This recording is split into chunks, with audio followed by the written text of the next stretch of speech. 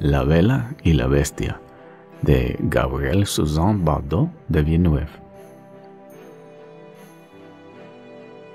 Eres de una vez una joven hermosa llamada Vela. Era muy bondadosa y quería mucho a su padre. Un día, Vela le pidió a su padre una rosa. El padre de Vela fue a buscar una rosa y encontró un castillo donde vivía una bestia que parecía una gran criatura aterradora. El padre cogió una rosa de ese castillo, pero la bestia no le gustó y dijo que, que tenía que quedarse ahí para siempre. Vela, para ayudar a su padre, dijo que se quedaría en su lugar. Vivir con la bestia era un poco desagradable al principio Bella tenía miedo porque él era grosero, egoísta y muy brusco.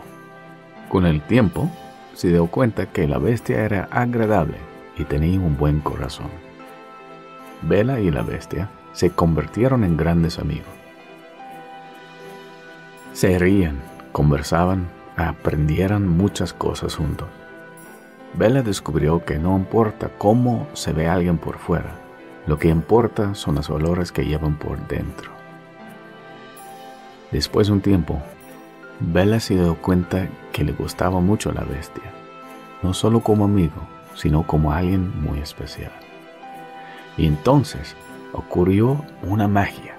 La bestia se transformó en un príncipe hermoso.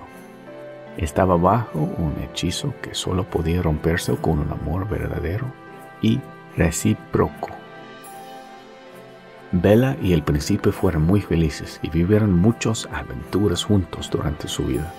Y lo más importante es que nos enseñe que debemos mirar el corazón de las personas y no juzgar por las apariencias.